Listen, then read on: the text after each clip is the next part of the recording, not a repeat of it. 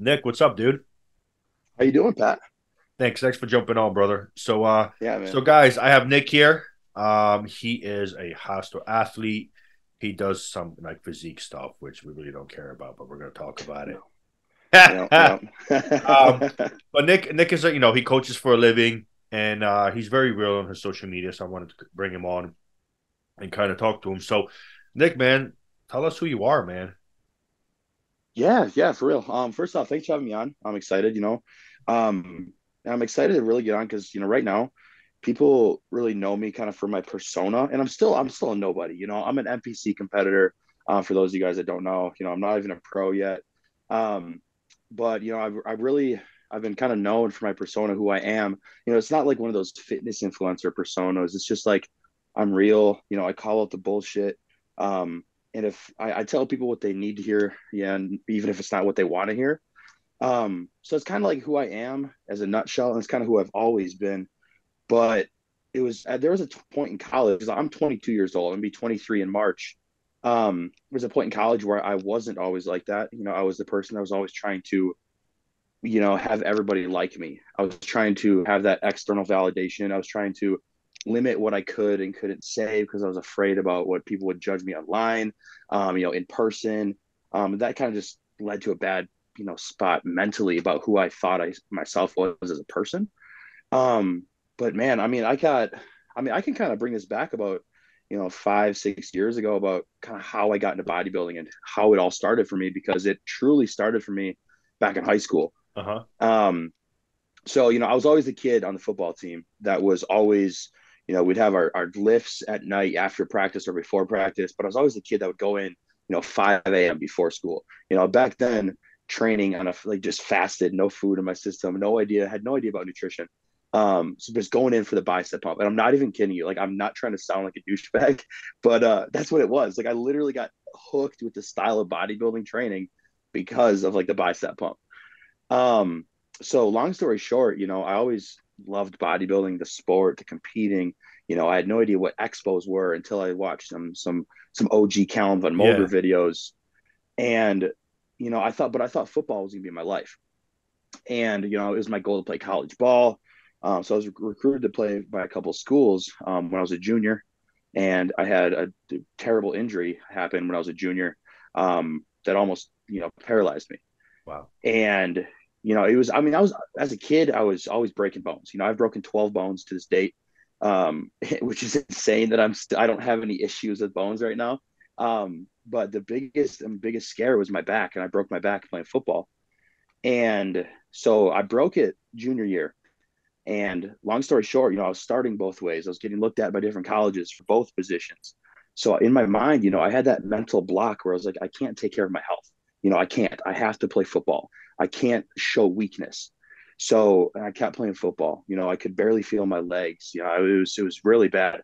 Um so then you know long story short football season ends. I had to stop training. You know it was so bad. I could barely walk. I couldn't jump. It was insane. I, I kept telling my parents yeah it's fine. I pulled a muscle whatever. Um and then I went through my whole track season. I was a sprinter. Imagine this ass sprinting. Like I was a sprinter. Like what the hell? Wow. Um, so I was sprinting and then I threw shot put and discus and twisting, you know, on my L5. And I, I had no idea that I broke my L5 though, you know, so I was just, I, there was pain down there and I thought, I knew it was something terrible. I thought it was muscular. Um, until, you know, eight months later, I was like, Hey, mom dad, I want to get my back checked out to make sure it's nothing serious going into my senior season, which is going to be the biggest season of my life. And they're like, all right, perfect. You know, so MRIs and uh, x-rays come back. Doctor's like, how are you, how are you still walking? I'm like, what do you mean? And I thought he was, I dude, Pat, I thought he was fucking with me, man. Right. Right. Right. And because like this whole time, you know, I, I played football, I did track, I made, I was, I made state, you know, and I was like, it's just probably just muscular. And I'm like, well, what do you mean? So I chuckled. And he, all he had to do was put the x-rays down and the MRIs down to show all the inflammation. And he was like, you're lucky to be walking right now. And I'm like, what? And so long story short, there was this one hit when I was a junior, when I was playing ball that I tackled the guy. And then right at the last moment before he went down, my, one of my teammates sideswiped me Yeah. and completely twist, twisted my hips. Um, and I knew that after that play, it was never the same because every day it was it was worse. It was worse. Um, but over time, because I didn't get it fixed, the doctor um, noticed that like my vertebrae slipped out seven millimeters because where the where the spinal cord runs through our yeah. vertebrae on each side, there's pedicles. Yes. Now these pedicles broke, and right here is the vertebrae body. Now the broke on both sides, slipping the vertebrae out, causing exposure to my spinal cord, and because it's a weight bearing vertebrae, um, you know, it, it was it was it couldn't heal because it was always getting moved, and then yeah, this, yeah. the calcium the calcium deposits that was trying to reform that bone, um, formed like overformed that it was it was it was literally constricting my spinal cord, and it was it was the worst pain in my life. Um, so long story short, you know, I still young mindset. I pretty much lied my way through physical therapy because I was like, you know, pain's not pain is reasonable, doc. You know, I don't need surgery. But also, he said surgery. If I got surgery, I'd have to get surgery. You know, once every ten years because the screws would deteriorate. And I'm like, oh lord. But anyway, didn't play college ball because my back got so bad, which is completely my fault. Um, you know, but it was a blessing in disguise because the way I had to train I had to completely rebuild everything. I had to rebuild my form. I had to rebuild like just execution, um, figure out what actual like intensity was. You know, I couldn't yeah. lift with an ego anymore. So it was a blessing in disguise because that's where I found bodybuilding. Yeah. Um, you know, and I tried to do sports in college. Like I was a walk on for the track team as a thrower. Um, and I made it, you know, and I went through the first season, but there was just there's something missing, man. That like that challenge of always pushing my myself mentally and physically was missing. Eh, so that's why I stuck with bodybuilding. Um, so I, I, stem from that background of you know powerlifting, explosive lifting, yeah. but also from always trying to figure out how to get bigger because I was always the kid in high school that people thought I was on gear, you yeah, know, yeah. and and I was like, well, what the what's gear? right, right, right, right. So um, let, let me ask you this: so yeah, so you couldn't play, you were starting out being able to play in high school. Did you? Is your back still messed up? like or did they do anything to it or kind of just you had to just kind of stop and just just live with it yeah so i kind of skipped over that point there um we found an area in madison so madison is the capital of wisconsin that did stem cell therapy research uh-huh. so that we did stem cells um which is expensive as shit but yeah. we had some loopholes with insurance so we did one type of stem cell that now whoever's listening to this if you guys are doctors i have no idea what how to formulate this but like there's one that would they would break down calcium deposits so that was needed to free it like take pressure off my spinal cord. And the other one was injected right into my bone um, which was for bone regeneration. Yeah. And that did amazing work. I still have some issues with it to this day. You know when i'm standing for long periods of time um, I, I start because I, I have an anterior pelvic tilt now because of it. Um, and when I'm standing or if I'm slouching, so I have my postures had to been fixed, which is yeah. you know a good blessing in disguise. But from I, right now, I'd say I get a problem, an issue, like I tweak it once every you know couple months. So it's not mm-hmm. it's it's crazy. I'm still be able to bodybuild and you know what what I, what I, every time, man, every time I hit leg day, I think about my doctors and my spinal surgeon telling me, you know, you're never gonna be able to deadlift, you're never gonna be able to squat again, you know. And every single time I squat, I'm like, you know, fuck you, doctors. Like I'm doing this. This is yeah, insane. Yeah, yeah. Like I'm, I'm not. I'm walking. I'm healthy. This is where I'm at. It, it, was, it was. I needed that because I was like, tell me I can't do it, and I'm gonna fucking do it. It's. I'm so interested about it because, uh, so I when I was 19, I broke uh my V4. Oof. Yes. It, but mine was a car accident. I flew out the back window, broke a tree, fucking all this crazy shit, right? Yeah, it was pretty bad. So the V4 broke. Now it broke completely, but like so imagine this is the this is let's say my finger is the vertebrae. So it broke off and then it was like this. So it was like on a 50 degree angle, but one part was still touching the bone. So so they were like, yeah, we could just, you know, we're we're they decided that instead of going in and cutting me, they're like, we'll just see how the body reheals it, and then if the angle's too much, then we'll have to go in. So I think it was every two or three weeks they would X-ray and check, and every other fucking time it was one it was the first time it was good. Next time ooh the angle's getting bigger. Then x-ray again angle's going good. It was literally back and forth but it got to a point it was like it was like i think it was like four or five months in the doctor's like well it's at a 45 degree angle um and your insurance doesn't want to pay anymore because they were like a million dollars in yeah, paying for everything. They were like yeah i guess you're gonna kind of be stuck with it i'm like okay so, and it was so bad. Like, if I ran my finger across my lower back, the bone, it was literally like a knuckle. Imagine a knuckle sticking out from the back oh, on my lower back. And then, um, dude, uh, it rained, it hurt. I sat longer than half an hour, it hurt. Like, I had issues. And, uh, and then, you know, fast forward two years, I started training, so forth. Um, yeah, dude, I have no back issues whatsoever. Zero. bro, it's crazy. Think think about this, man. It's like, you know, back then, they didn't once talk to me about, you know, like the, the Western medicine doctors. Right, They right, right, Talk, they didn't once talk to me about, you know, stem cell therapy. They didn't once talk to me about growth hormone. Uh-huh. They didn't once talk to me about all these other options with peptides. But Mhm. what they did talk to me about was, oh, we can get you on muscle relaxers. We can get you on opioids. We can get you on all these different things. painkillers and surgery. Yep. Painkillers and When I- surgery. man, when I was I was addicted to painkillers at one point, and it was that, and it was because of my back. It was it was the hardest thing ever. Man, it it, it hooks you. They want you to be hooked. Yeah. Because that's how Western medicine does it. Because once you're in the pocket of big pharma, they got you forever. Yeah, dude. It's yeah, crazy. and it's I, I I know for a fact, and this would definitely will happen to you too.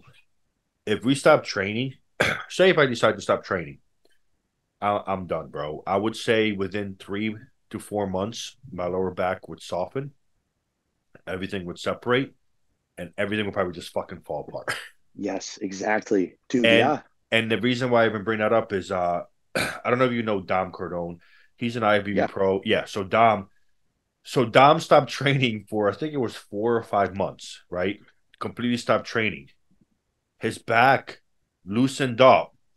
He had an injury in his lower back that he never knew about. It was just muscle was compressed over it. So it loosened up. He woke up one day and couldn't walk. oh my god, They had to rush him and operate him in an instant.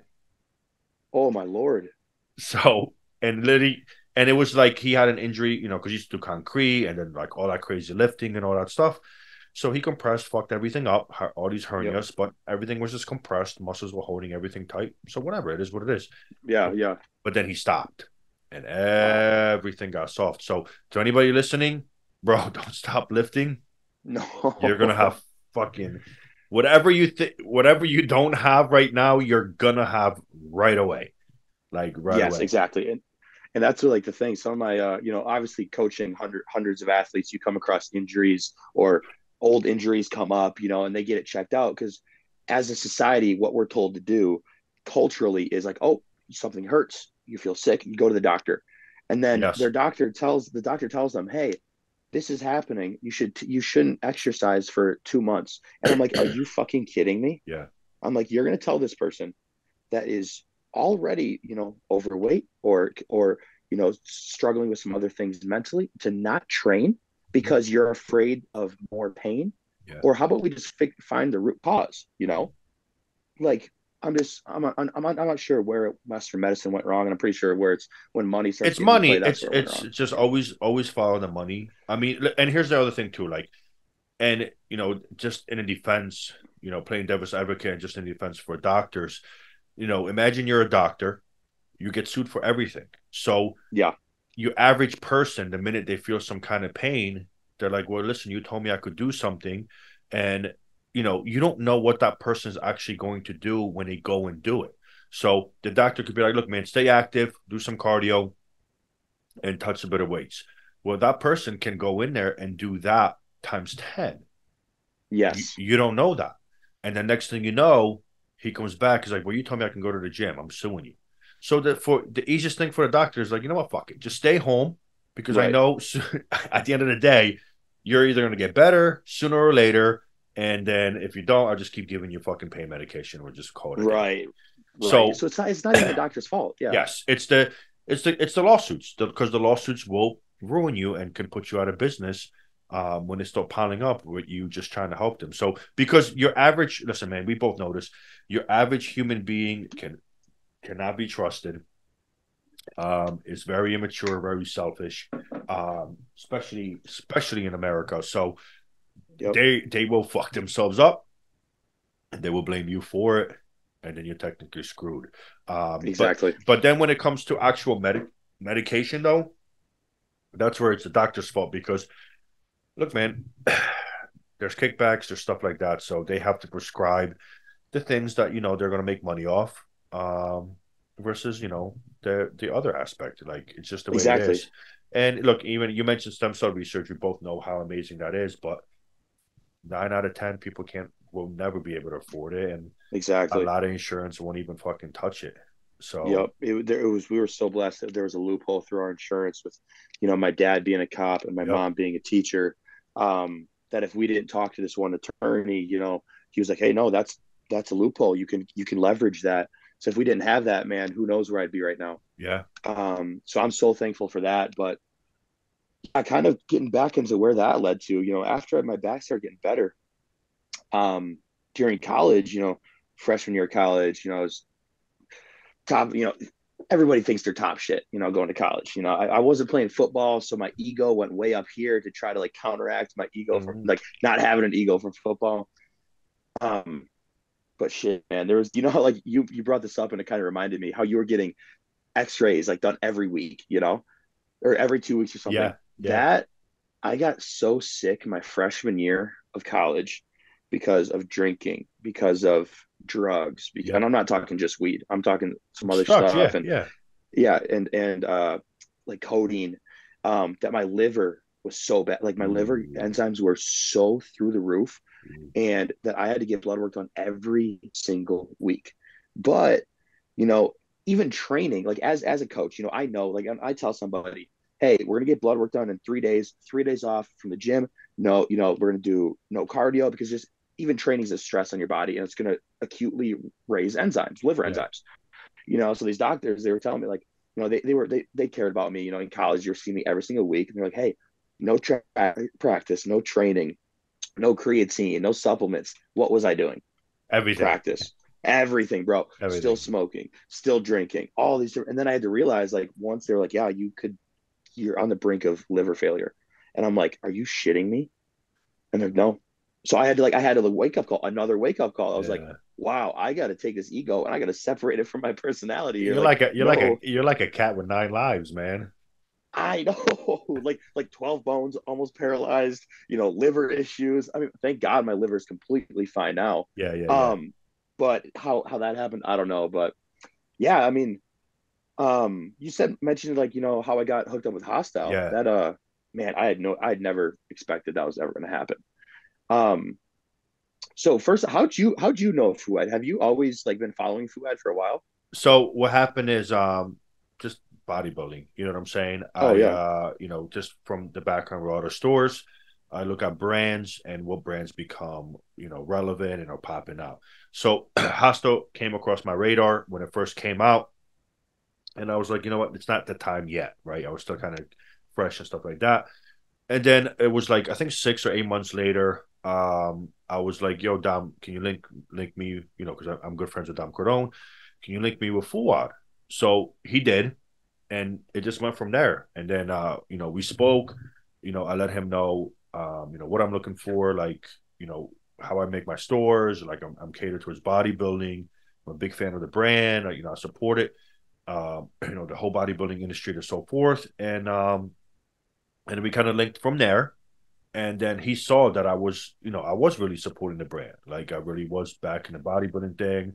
Um, and then it just kind of just our friendship just kind of just expanded from that aspect from there. That's so cool. That's so cool because I remember, you know, when I first uh, joined the Hosstile team in our chat, Fouad would always be like, "Hey guys, you know, these are the videos Pat has made about our supplements." Yeah, like, "You guys, if you could try to make some similar," like he would talk so highly. I'm like, "Who's this Pat guy? Like, who's this guy? Like, this is these are damn good videos." Yeah, because you know what, it was, and that's what because I remember when I when I talked to Fouad originally, and and it's a lot when I have conversations with a lot of these different uh, with different brands, but usually the brands are like I believe in.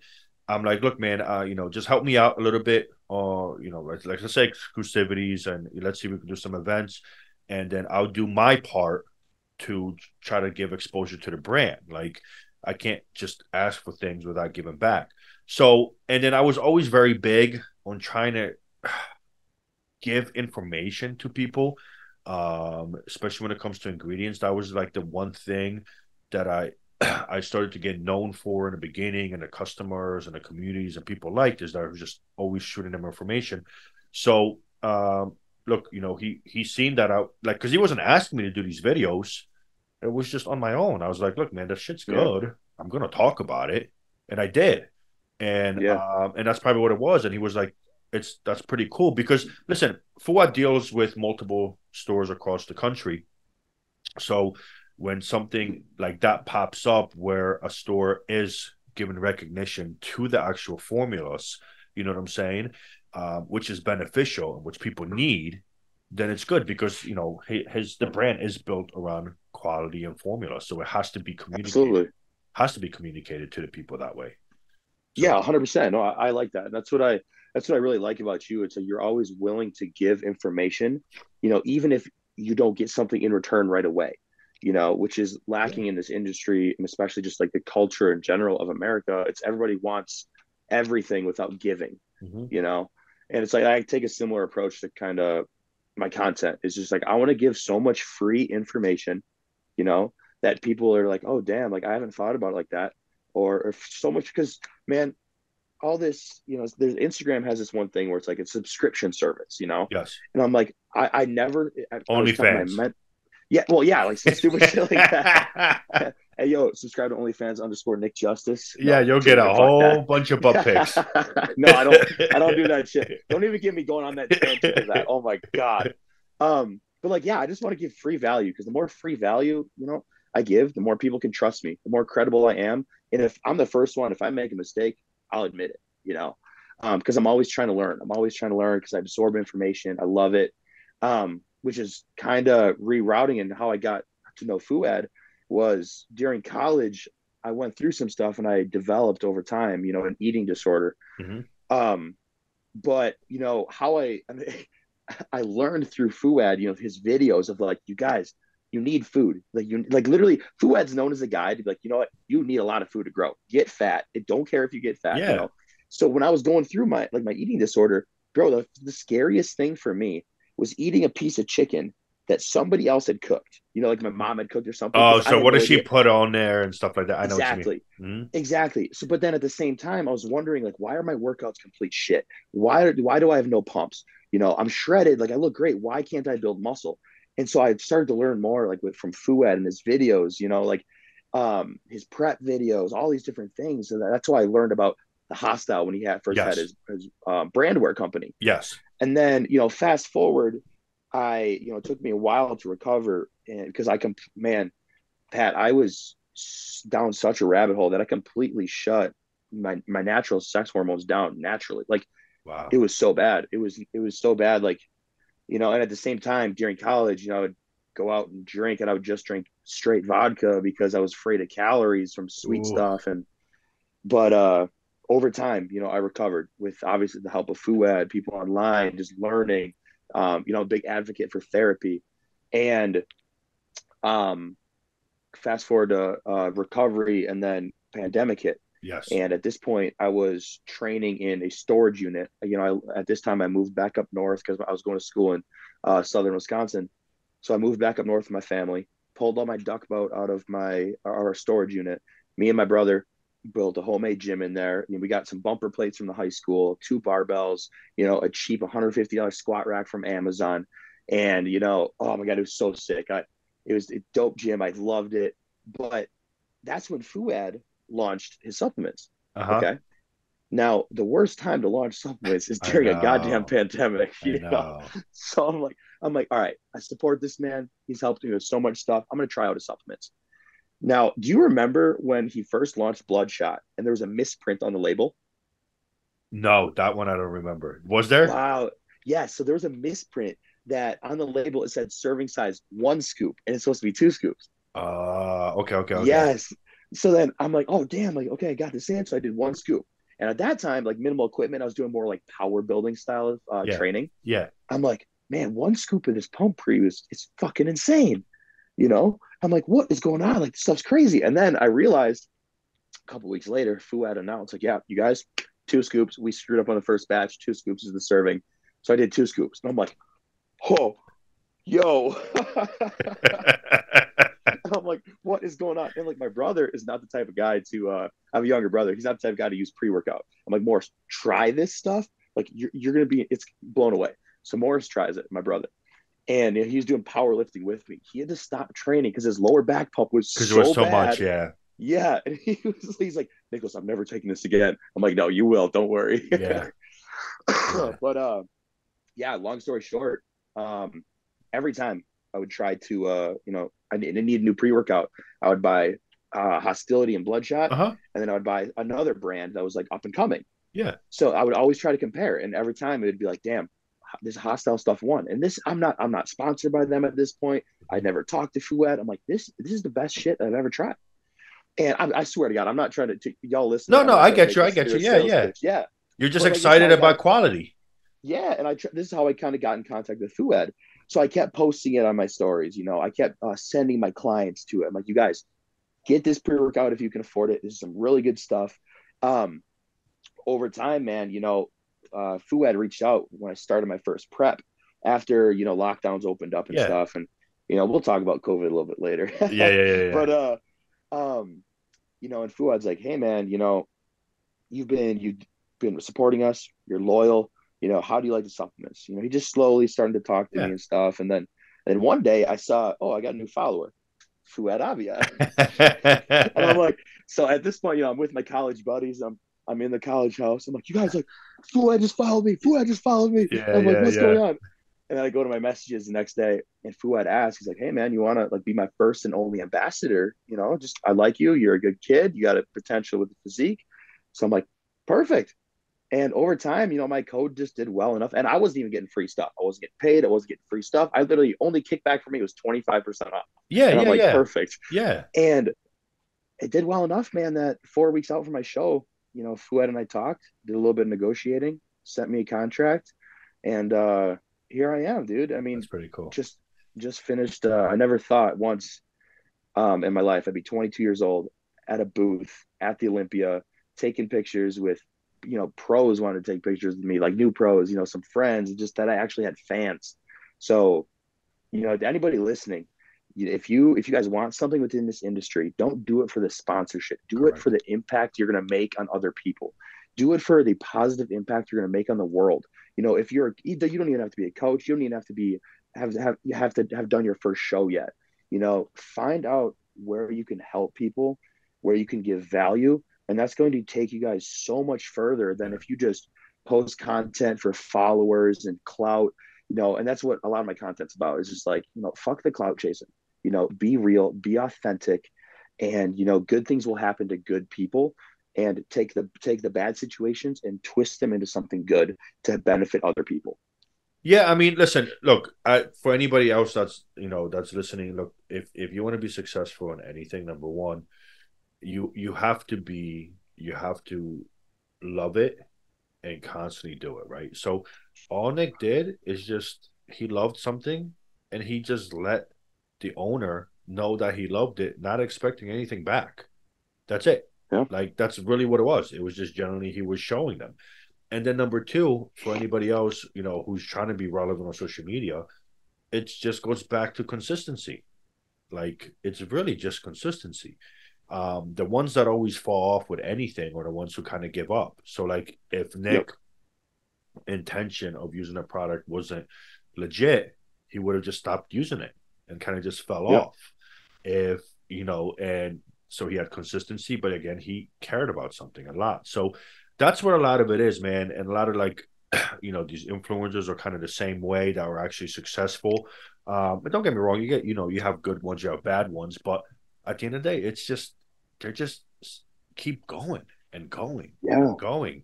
Um, yeah man and that's the way it is. And look, you know, in this industry, what's rare is being real and honest because we are in a pandemic of hmm fucking filters, photoshopping, um, just lying, lying, lying.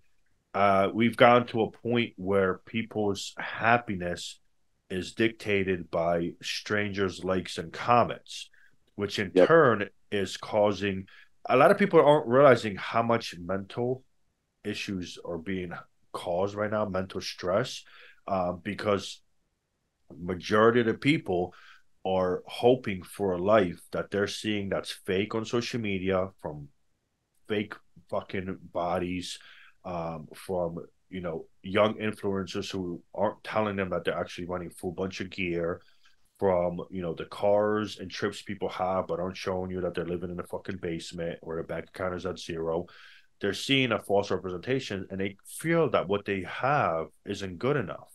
So a lot of times they give up get depressed and fall, Exactly. and fall into holes um, when it's it's I'm- it's just not like that at all Is exactly. And the thing is, I fell into that too because, you know, ending my freshman year of college, going into my sophomore year, what I was dealing with, you know, I, I'd almost I almost went to jail for some some bad shit.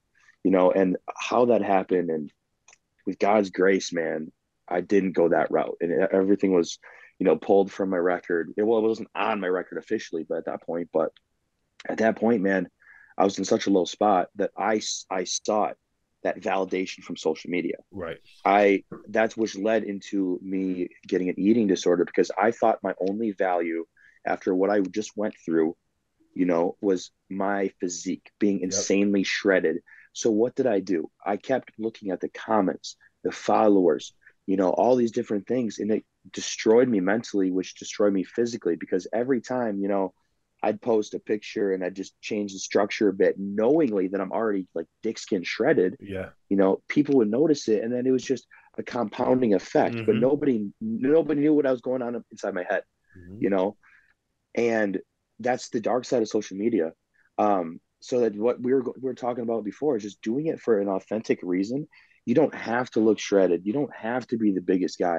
If you can just give some type of value it can be laughter. It can be knowledge it can be you know motivation do that to help other people because you have no idea people watching this podcast they're going to be affected by us talking you have no idea if you have 900 followers you know Yeah. some some person that's trying to be a fitness influencer you have no idea if you make one post and that one post helps one person across the country keep Yeah. doing it yeah. and it's like do it for the real reasons don't do it for clout Yeah, man. Listen, dude. We it's easy for us to say, right? Because we've we've gone through all this. We've self True. learned. We self taught. Um, you know, we we you know, listen, bro. I'm like fucking old as shit, so I have all different types of experience. So every all the mistakes you've made, I've done it like ten times worse, and ten times, fucking multiple times. But you know, at, at the end of the day, man, it's listen, man. Look, the mis- I say the mistakes we make they're not really mistakes. They're more like learning opportunities, right? So realistically, um, you know, God gives us opportunities to grow by us having a conscience to make decisions that are wrong. Right. amen yep yep Because, you know, we're going to make those bad decisions. It's just human nature, right? We're going to fall into different vice of jealousy, envy, and so forth. But what happens afterwards is really what dictates our actual growth. Because Yes. realistically, the ones that are always stuck in the same place are the ones who continue to blame everything else for the mistakes they continue to keep making. Right. Yes. So, so it's kind of like that way, man. Um, so again, listen, we're giving advice. We know you guys are gonna fuck up. Just remember when you do, you have the opportunity to learn from it and move on. Everybody's been Every- yeah, everybody's been in all your shoes. You know what I'm saying? We're all expecting you actually to fuck up. Yes just, like don't you guys don't worry pat's fucked up more than you will ever, yeah, so yeah. keep yeah, keep bro. screwing up just keep fucking up. Um, no, man. Look, it's just it just don't get you know to everybody just don't get discouraged. Like it's just the way it is, man. Like you know, Yeah. we we are you know we are we are always going to have things that just mess us up and just you know our opportunities are to grow. Like Yeah. listen, if everything listen if everything is going perfect for a person, they will always be exactly, exactly the same. Yes. There's no motivation uh, to grow, to improve, or so forth, because either there's no challenges or everything is just perfect. You know what Absolutely. I mean? So, so that's And how that's- it all goes down. That's what I kind of base my, you know, my my coaching philosophy off of, but also like the name of, you know, my my company. So evolution aesthetics. My slogan is the pursuit of personal excellence. You know, aesthetics, obviously you hear that word and you think, oh, fit, like fitness influencer yeah. type vibes, but no. You know, aesthetics can be mental aesthetics as well. But you know, the the ultimate rebellion to anything in life, the ultimate rebellion to feeling down and depressed, the ultimate rebellion to coming out of a bad spot in life, grief, all these different things is the pursuit of personal excellence. Personal excellence starts in your head, you guys. Personal excellence doesn't start with your body. Personal, if you want the best for yourself and everybody around you, it starts with excellence in your mind. And then it's going to transfer to your body. And then it's going to transfer into the energy you put out in the world, Yeah. you know? So, like, I had to think about that one, you know, a while. Like, I didn't want to come up with some, you know, cheesy name or nothing. It's just like, I had to think, like, who am I? You know, I'm always trying to do better. So it's like pursue personal excellence. I want people to do that. And if I can touch people, you know, at the Olympia or the Arnold, you know, and, and touch them in a way where they want to get better, then my my goal has been fulfilled. Yeah, Nick, we need you to touch everybody. Touch, Bro, it's a- But man, circles like it's, you. you just God, went like God. right into it, dude. I literally accepted that one. I accepted it. I'm like, I'm still caught on the emotional side of things. I'm like, I'm like, oh wait, that sounded so bad. oh man. So Hey, if, listen, you're, if you're listening to this, I'm not going to touch you at the Olympia. I'm not going to touch you at the yeah, he's gonna touch you all over, bro, when you come through the. Olympia. um was gonna say uh but no that that's listen that's awesome advice and the last thing i want to touch on before we kind of go is dude how do you feel about the olympia this year man i'm and i'm referring to more open. Like because there's so many categories so we go over place but like i'm just referring to the straight open bodybuilding dude i was okay so like I, like everybody else you know me and my friends did our picks. Everybody's pick was wrong. Um i was i'm so happy that Hadi won. Like honestly i'm very happy Hadi won. I thought it was very well deserved. Yeah. Um i don't really care about the people saying like the the soft back stuff online you it's know? not even like there's there's people that listen man for all the all the guys from the old school generation listen you competed to be 200 pounds shredded but yeah. none of you showed off your glutes. Yes. And none of you technically even had the glutes that these guys have now. Exactly. so you're literally just trying to point a way to justify that you're better when in reality you're all good for the Exactly. time for the time you're competing in. So that's just Right. how it is. But right go- exactly. And um so i'm dude derek in second blew me away it was me so we were sitting at the uh at the open pre-judging it was like all the Hosstile athletes were lined up you know yeah And I was like, I was making bets at Justin Shier, and I lost a couple of them. but uh, you know, I was like, he was talking. I was talking to me and Paul. Paul was right next to me. And I'm like, Paul and me were like, dude, Derek out of the whole lineup so far, like, we think Derek has got first, you know. Yeah. And then, and then Hadi came out, and I'm like, yo, it, it was just, it was such a crazy experience being there at Open or at uh, the finals, excuse Yeah. me, being there at finals and hearing like the reigning champ go from first to fifth. Just like I was, I was kind of expecting it as bad as it sounds, but obviously a lot of people were because of you know the presentation that he had on stage. But Mhm. you know, just being there and hear because like that's something nobody's gonna hear is go like being there in person. yeah The person that was considered for the whole year unbeatable, yeah. going from first to fifth, and then two people like Derek first year in Open gets second place. I'm like, yeah that's that's insane. Like I'm so happy that you know, just for the guys that placed as well as they did, because you know I think this Olympia, obviously, do you agree that this was probably in the in the last? It was the most prestigious Olympia in a long time. yes a hundred percent. do you think do you think next year is going to be even crazier? I think we won't have 30 guys. We'll have Mhm. 20. But because Hadi isn't set in stone to be a consecutive winner, um, and Andrew is so mo- so movable, Samson is still movable. Um, because Krizo is still movable, because you have a couple people that are still like very can literally just zoom through. Um, I think next year is going to be another like really exciting, uh, exciting time. I think the top three are technically like kind of like the top three, and then everybody yep. else has to kind of just match or fit some kind of look. Yeah, I agree. Them. Um, on on that aspect. Um, were you dis- Were you disappointed in any places this year, like outside of top ten? Um, no, man. Uh, I think. Listen, I think the judges did what they were, what they did. Everything was fine. I, I really do, um, because the the problem is like, like I could be like, well, this person should have been lower because they look better, and it'd be like, well, listen, this person had this fall, this person has this fall. So there's certain yeah. things that outweigh it. Um, I will say though that Fouad lost a bet to me, and I'm gonna have to make sure he pays up. He's supposed to. Yo, how much? His whole beard's supposed to be shaved off. Yes. No. Yes, because we bet. Shut up. Yes, because he bet that Brandon will be in the top three. I bet that Brandon will be out of the top three, and I was literally on it, and he has it on video because it was in the first time I was in a booth. Yeah, in a booth, and uh, Brandon got fourth. Oh, so dude, this is gonna be so funny. Now, now, listen. Here, here's what I would say. I think Samson could have been fourth. Yes, in my opinion.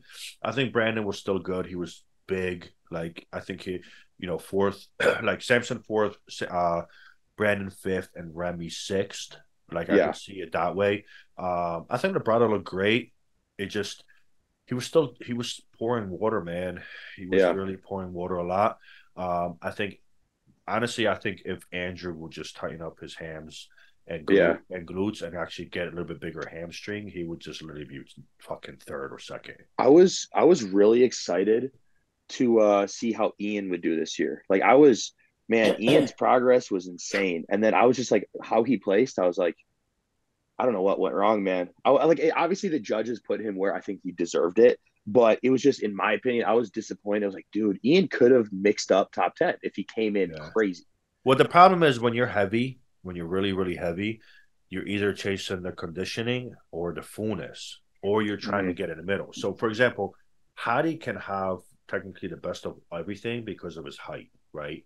Mm-hmm. He's not like a 260 guy or 270, 80 that has to play that game. Like Samson, for example, for him to play the conditioning game, he'll lose the size effect. You know what I'm saying? So it kind of plays in that in that way. Um, you know, plus the other thing is like to me, like you know, I see Derek possibly like being a one kind of hitting, you know, grabbing these uh, several times. Um, but to me, when I look at open bodybuilding, I look at muscle mass conditioning and then structure versus structure, uh, mass, and conditioning.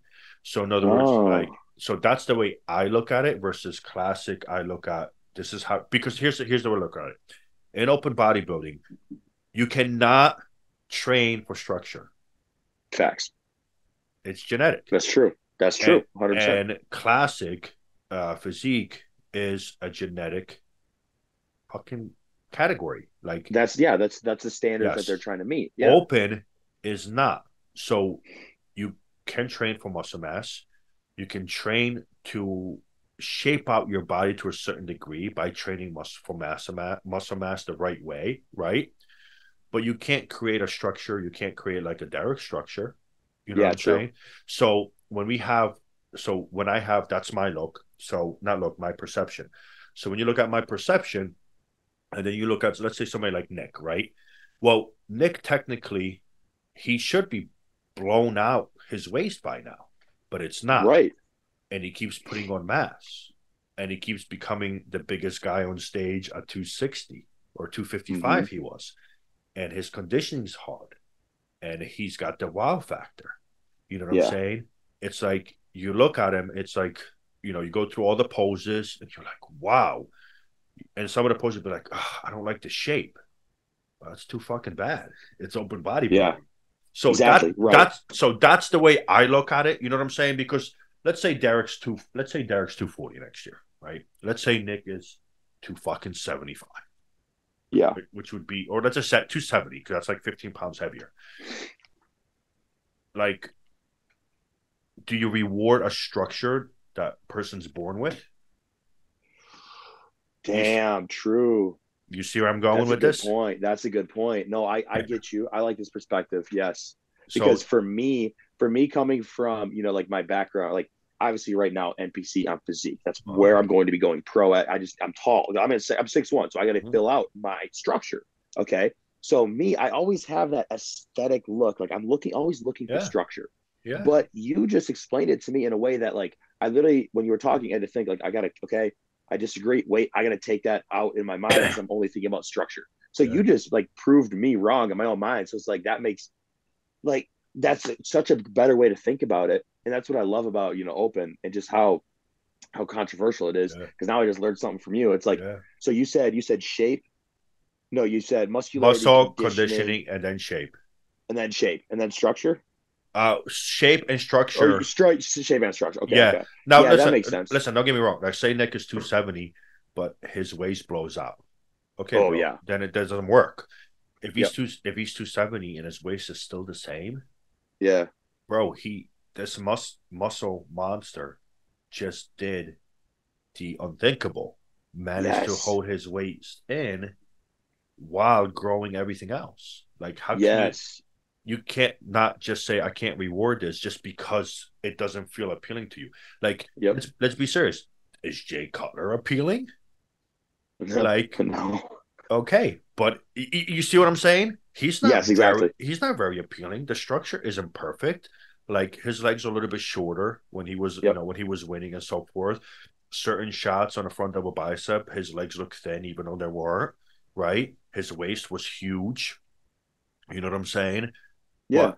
But he got tons of mu- muscle, and he just overpowered everybody. Exactly. Exactly. So That makes sense. And I So think people that's my look to it. Yeah. No, I like that look, and that definitely changed my opinion because I think me, along with a lot of other people, you know, me not anymore because I kind of changed it to how you just brought it up. They think of who I want Mr. Olympia to be the prettiest on stage, and then the most muscular, and then the most conditioned. yeah, which you is gotta- fine. you gotta yeah. Right, right. Because everybody has their own opinions, their own perspective. But when it comes down to like the standards of the division, I really like the way you thought of it. I liked this year how Nick in his front double bicep, he would he would extend his core up, Uh huh. you know, and hit it, And then and then squeeze he it down. breathe everything out. He didn't do that last year. Yeah, it changed it up a lot. I I know, and I think I liked that. I think that uh really benefited him. It it does, man. Listen, he it's you know you you people have to fight certain things when they're structured a certain way. You know what I'm saying? So for him, it's always like a battle. Yeah. Um, he is a bodybuilder. He builds around his structure. Um, Yeah. Look, at the end of the day, you know what I think is if we take Andrew, right, and if Andrew does what he's supposed to do, I'm sorry, bro. That's Mr. Olympia. Just give it to him a couple Yeah. years because he's gigantic. He Yeah. is huge. He would be conditioned. His shape would be stupid, and he would look like a Yeah. huge cartoon character. It's kind of like a Shawn. Rhoden, but even fucking bigger. Literally, imagine if uh you know Andrew got hooked up with like you know like Hadi or Matt or not Hot Hany, sorry, or Matt Jansen. You yeah, know? I mean, that, like that- nothing, nothing against Andrew's coach, you know, but I'm just saying, like they always bring that, that just that, that paper thin skin, you know, because Andrew, dude, he's got he's got a lot of potential. Uh, listen, Andrew's new. Um, Andrew loves bodybuilding, but there's He different does. there's different levels of love. Yeah, There's obsession and craziness, and you're Yeah. like, I will fucking suffer. You know what I'm saying? And then there's, Mhm. I love this. This is fucking awesome. I look great. Like, yeah, you know what I'm saying? I don't think Andrew has hit that point of being like obsessed, like really mentally fucking, because that's a deep corner you have to go into to really Yeah. hit that kind of conditioning level and so yes, forth. Um, but I think I would say out of everybody that's you know in this whole entire compet out of every competitor, I think he has one of the biggest chances to just pop out of nowhere and just yeah, roll right into the front. yeah. No, I 100 percent agree. I think him and Samson, man, can do some crazy stuff in the in the Yeah, I think yeah, I think Samson's awesome too. It just again, it to me when I look at Andrew, I, I can't look away. Yeah, just, yeah, true. No matter how many ways I try to like, let me look at it this way. If there's a fault or flaw, and I'm like, I fucking can't, bro. This dude's right. he's a fucking cartoon character. I can't like, and you know what I mean. And it's just everything is. If it, like, I'm, I think, I think the biggest part is because his legs are so gigantic. His waist is just his waist would never go like this. No, no, no, ever, ever. And his legs just keep going like this, and his yeah. shoulders are always set up like this, and it's just he just has a built structure. It's just set. Yeah, it's just set for life, man. It, so it's crazy. It's pretty crazy, and uh, hopefully Ramy is smart and just retires. Yeah, honestly, man, I, I was because I remember he was. I mean, I don't listen to it that much, but I was just like listening to it when I was working one time, um, Dennis James brought him onto his podcast, and Ramy was saying that, like, yeah, like people are talking about, you know, me retiring after this this Olympia, but like honestly, I don't know if I'm going to do that. But dude, I think, man, health, the competition, all these different things. You know, that's another thing we can touch on is just health and bodybuilding because that's a huge topic. But that can be saved for another time if you want. But you know, Ramy's at that point, man, where this year showed everybody that he is beatable. You know, that is yeah. that's Well, here, so now we got to think like here's the thing, man. With Ramy, like the body's done. That's just yeah. what it comes down to. It's just done. Like there's party parts that kind of gave up. Um, even his waist expanded a lot. Like we look at Ronnie when he poses and stuff, and the and the, and the shots that were shown to us, and the waist looks so small.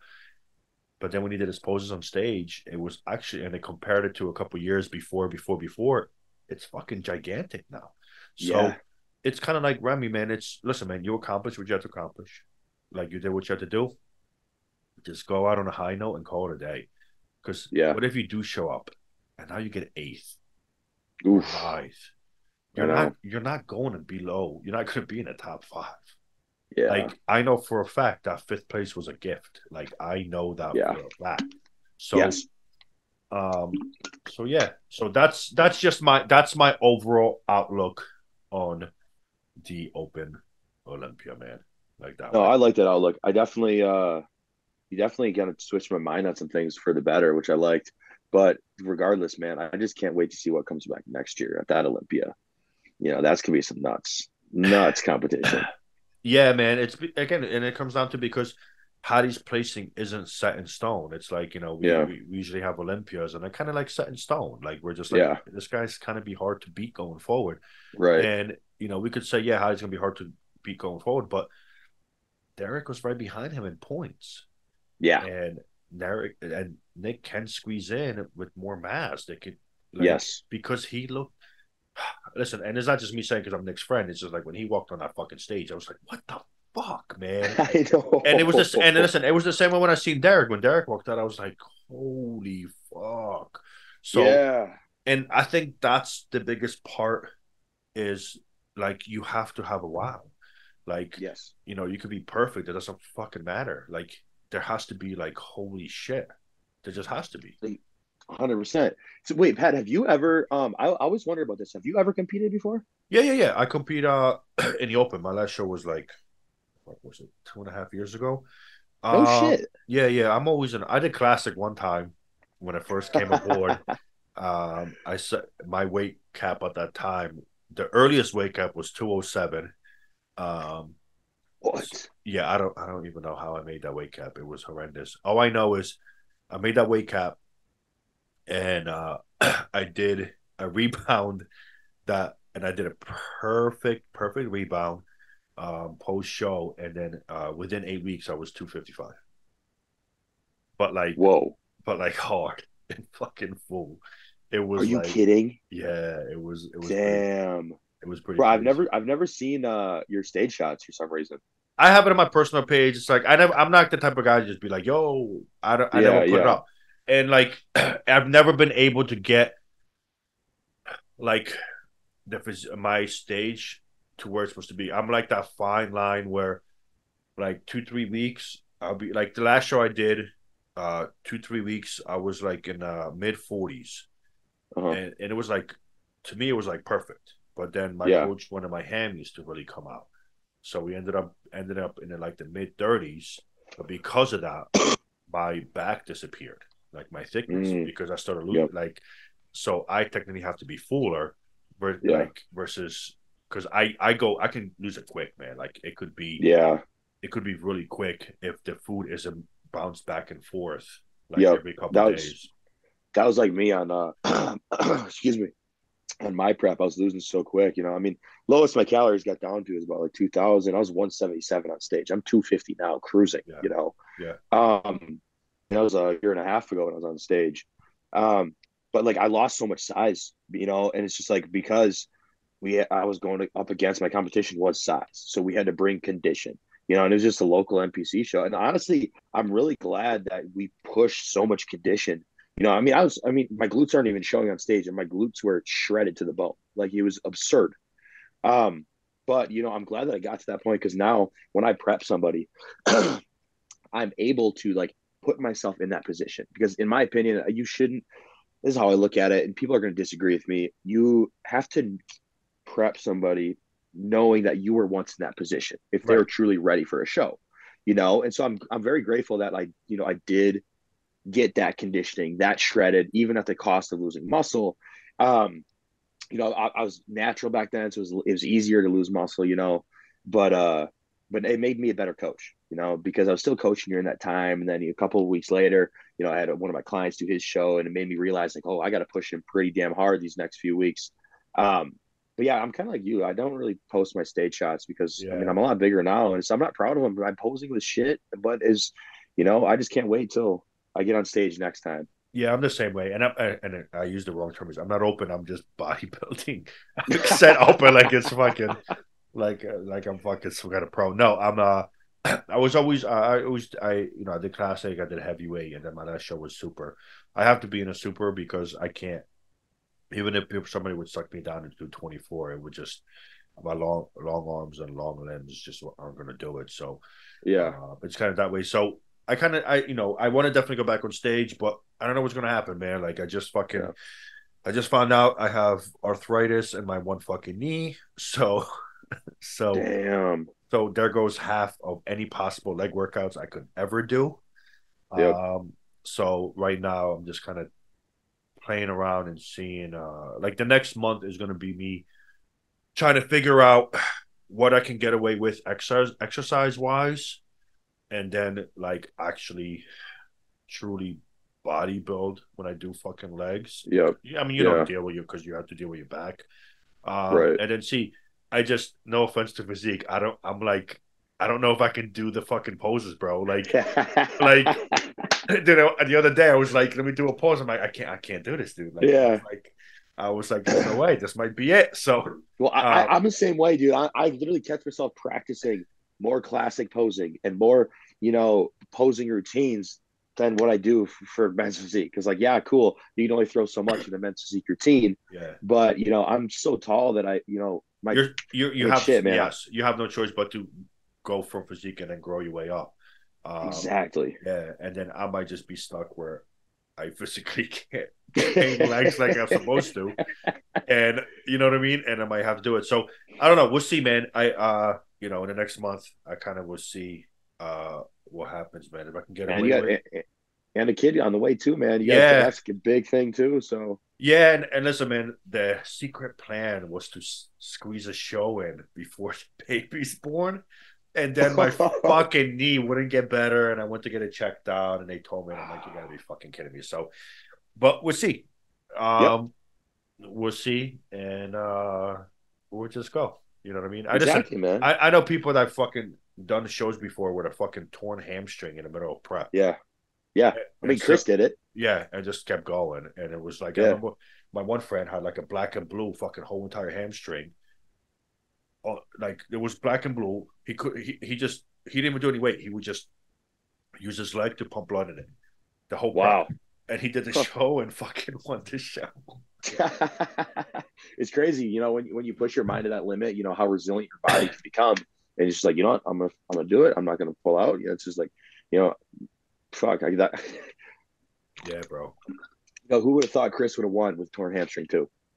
So Yeah, yeah, pretty wild, man. But that's the that's the take on Olympia. And uh Nick, we'll have to do a part two again one day. Yeah, I'd love to, man. I'm I mean, I do I do this for a living, dude. I coach, train, you know, talk to people. So whenever you want to get me on, if people like me on, then perfect.